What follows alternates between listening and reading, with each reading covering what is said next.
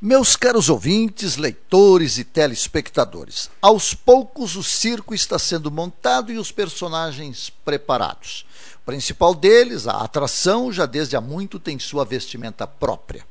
O julgamento amanhã de Lula pelo TRF4 de Porto Alegre tem todos os ingredientes para agradar quem se nutre de chanchadas. As redes sociais, segundo o escritor Humberto Eco, abriu as portas para a imbecilidade.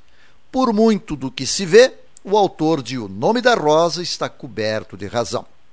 Mas o circo de ontem, hoje e amanhã retrata a vida, tanto como farsa ou comédia, quanto poderá ser em tragédia. Como farsa, é inegável que alimentar Lula como algo acima da lei e aceitar que ele seja o homem mais honesto do mundo, convenhamos, não é dedução de alguém com juízo e percepção normais. Ou então, tudo que se roubou e destruiu no país de moral, ética, honestidade e decência é mera fantasia. O que aconteceu após a CPI dos Correios, a compra de partidos, a distribuição de dinheiro, cargos, o esquema que se montou a partir dali e virou outro escândalo de proporções gigantescas, o petrolão, é miragem, fantasia e surrealismo? Se assim pensarmos, então está tudo certo que se continue a imaginar que a justiça do nosso país não, não tem condições e não é honesta em aplicar as leis em alguém com tamanhas responsabilidades sobre o tudo que aconteceu no país. Para Lula ser preso, terá que morrer muita gente.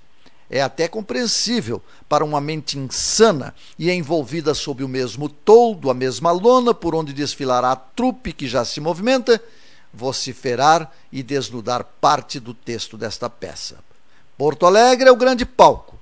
Para lá se deslocam os personagens e há de tudo nos folhetins divulgados pelos arautos desta encenação.